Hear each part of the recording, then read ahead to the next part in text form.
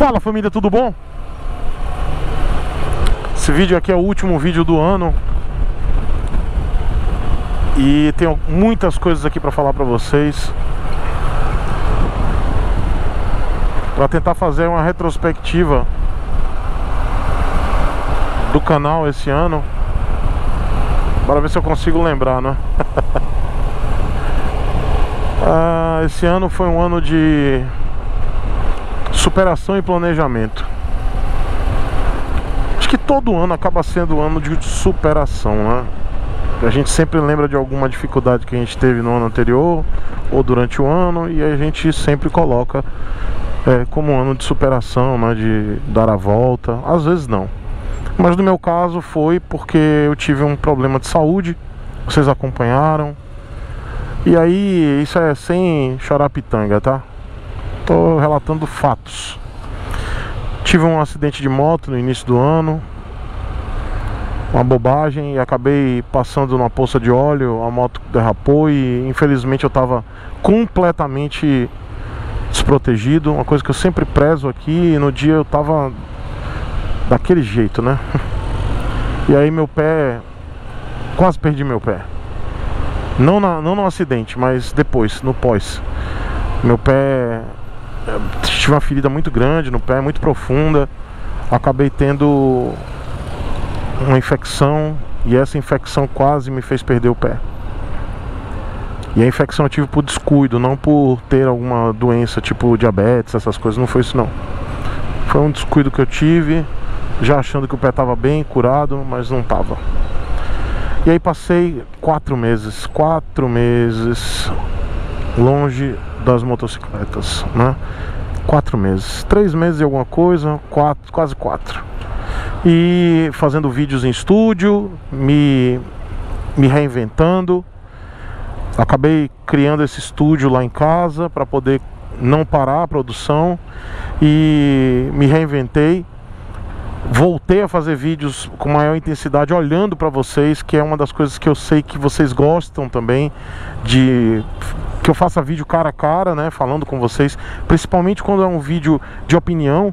Então, vídeo opinativo sempre tem opinião nos meus vídeos, né? Mas quando eu vou falar alguma coisa mais, mais dura ou com opinião mais dura também, eu prefiro falar olhando para vocês. E deu certo nesses meses que eu fiquei longe da motocicleta, eu consegui me sustentar, me manter. Me curei, Claro, me curei, mas fui ajudado por médicos e por Alá Todo-Poderoso e também pelo meu, meu querido Léo, meu babalorixá que me, me passou folhas. Eu fiz muitos escaldapé aqui para poder ajudar. Claro, com a ajuda de uma médica infectologista e também a ajuda de Deus, os orixás, meu padrinho Abaloaê, todos me ajudaram. Minha família, minha esposa, principalmente minha esposa, que me acompanhou até no hospital, ficou lá comigo o tempo todo, e Laura Bebê, minha sogra, Biba, enfim. Eu tenho que citar, tá pessoal? Desculpa. Esse vídeo é um pouco pessoal também. É... Passada essa, essa loucura de doença, é, e concomitante, eu tava em, com a visão na viagem do Cruzando Fronteiras. Que foi idealizada pelo, por mim, pelo Motoca, pelo André, Motoca 071. E esse foi um ano de planejamento, né? Foi um ano de, de fazer todos os planos para que eu pudesse me encontrar com o André lá em Curitiba e de lá de Curitiba a gente pudesse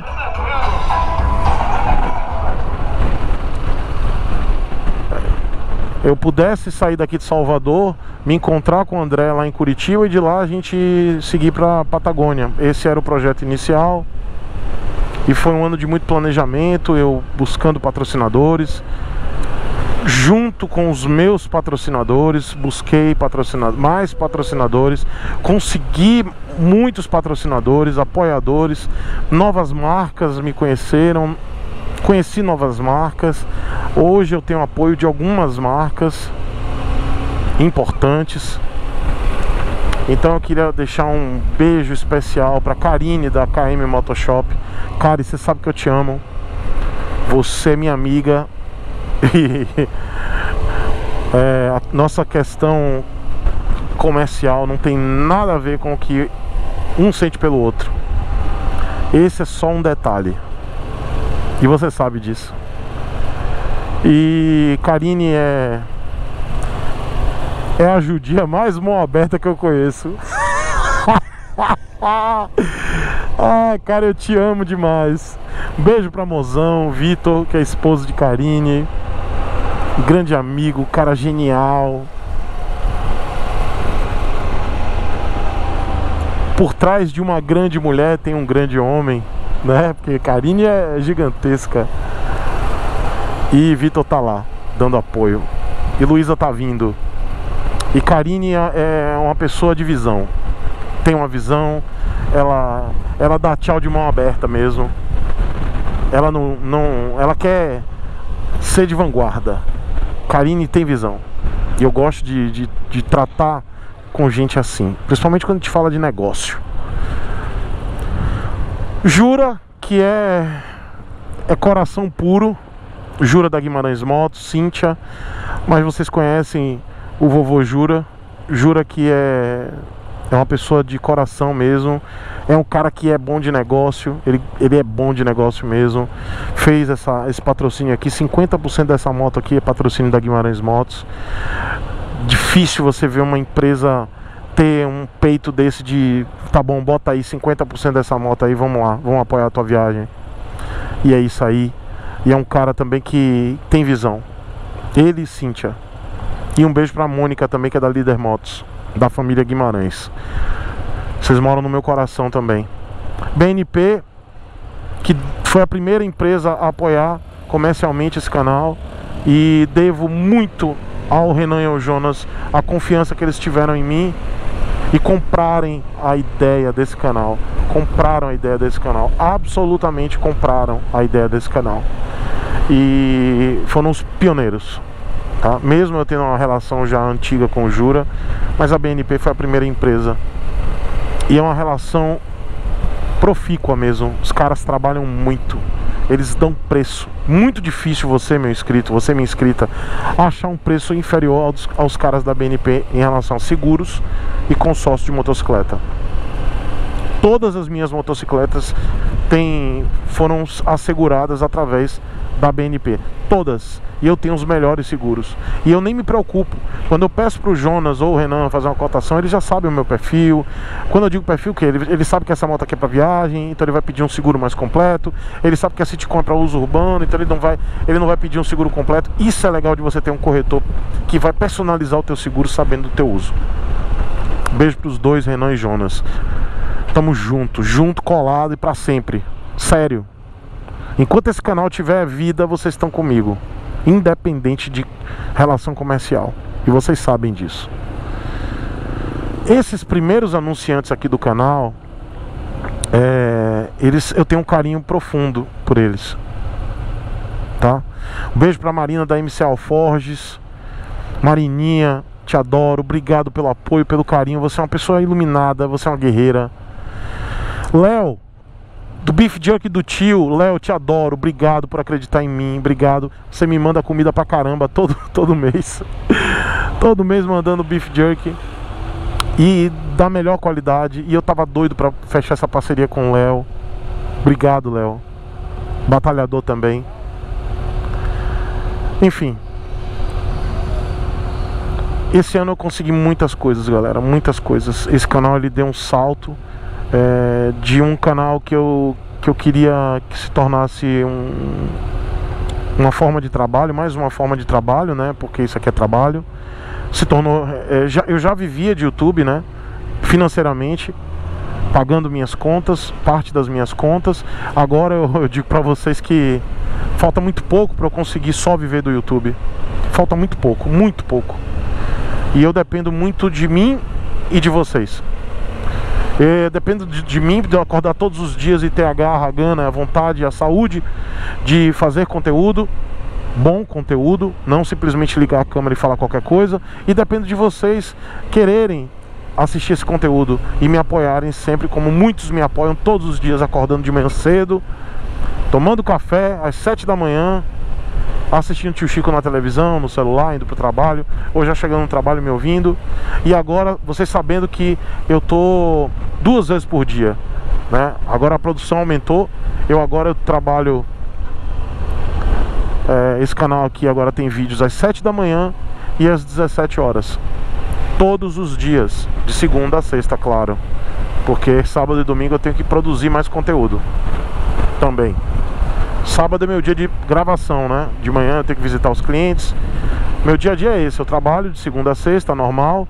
É, tem ensaio de banda de noite, é, Pixion de 8 às. dependendo, às 20, 21, 17, 18, depende. Pixion Medical Systems, um beijo para todo mundo da Pixion, que é o meu trabalho CLT. É, depois eu tenho que editar os vídeos quando eu chego em casa no estúdio ou gravar para vocês. E aí fico até meia-noite, uma hora da manhã trabalhando. Às vezes tem ensaio também durante a semana, porque final de semana a gente está fazendo show. Geralmente a gente faz show corporativo, casamento, formatura. Às vezes a gente toca em algum bar. Pessoal da Remota, um beijo. Wolfer, Balo, Binho, beijo para vocês, meus parceiros, meus sócios, meus amigos. É... E final de semana, dia de sábado de manhã, eu tenho que estar na... visitando esses meus clientes, né? Que são os meus patrocinadores. Guimarães, KM, New Bahia Harley Davidson, agora novo patrocinador. Enfim, e buscando novos patrocinadores. Então, pessoal daqui da Bahia, daqui de Salvador, de São Paulo, do Brasil, se você quer patrocinar esse canal, não tem limite de, de região não. Eu vou, pego um avião, vou pra tua loja e faço o vídeo. Não tem essa não estarei aí. Então se você tem uma oficina, se você tem uma concessionária de qualquer marca, pode, pode ser picolé de chuchu, pode ser asa de frango, não tem problema, eu vou aí. Só não vou deixar de chamar picolé de chuchu e asa de frango. Ah, então eu não vou te patrocinar. É, tudo bem, não me patrocine. ah, meu Deus. Mas é claro que no vídeo eu não vou chamar picolé de chuchu, tá? Tô brincando. Tanto que eu não falo nos vídeos da, da Suzuki, eu não chamo de morta-viva. Eu faço bonitinho. Mas novos patrocinadores chegando, as empresas estão me buscando, falta muito pouco para eu viver só disso. E aí eu conseguindo viver disso aqui, eu vou conseguir muita coisa pro canal, muito mais tempo, mais vídeos por dia. Minha, minha meta é fazer de 4 a 5 a 6 vídeos por dia, eu vivendo só disso aqui. Aí a gente vai falar de notícia, mais conteúdo, mostrar é, equipamento, motos, test ride, mais coisas, né? Mas por enquanto é o que eu consigo fazer dois vídeos por dia, acho que tá de bom tamanho. Cruzando Fronteiras vai ter agora uma novidade, que eu vou ter um parceiro novo de viagem para ir até Curitiba encontrar o André. E de lá a gente vai voltar, talvez a gente vá até o Rio Grande do Sul, talvez não. Nós vamos até o Rio Grande do Sul e talvez a gente vá até o Chuí. E aí vamos voltar subindo, visitando cada cidade aí que a gente marcar lá no, no roteiro para visitar vocês inscritos, tá? Vai ser uma viagem em torno aí de 10 mil quilômetros ou quase 10 mil quilômetros. Tá tudo certo, essa moto aqui é a moto da viagem. Vocês vão conhecer em breve os patrocinadores, meus capacetes, ou o capacete, né? Porque o meu parceiro também vai com capacete patrocinado. Vocês vão conhecer qual tipo de EPI que eu vou estar usando. Tudo, vocês vão saber de tudo, absolutamente tudo. Tá bom? Um beijo para vocês. Desejo um final de ano incrível. Um 2020 melhor do que o de 2019. 2019 foi um ano muito pesado também, falando de coisas que aconteceram no mundo.